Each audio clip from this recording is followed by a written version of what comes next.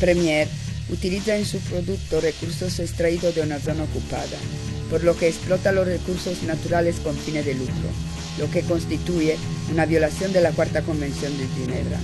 El derecho internacional prohíbe los asentamientos y la explotación de los recursos en territorio ocupado, en territorio palestino. apoyar la campaña de boicot, usted estará enviando un mensaje claro a los laboratorios del Mar Muerto Premier y a su comunidad de que está en contra de la violación del derecho internacional y de la explotación de los recursos palestinos. La campaña BDS, boicot, desinversiones y sanciones, no es contra las personas, sino las políticas y prácticas llevadas a cabo por el Estado de Israel y sus representantes, que ocupan militarmente Palestina y practican un sistema constante de apartheid.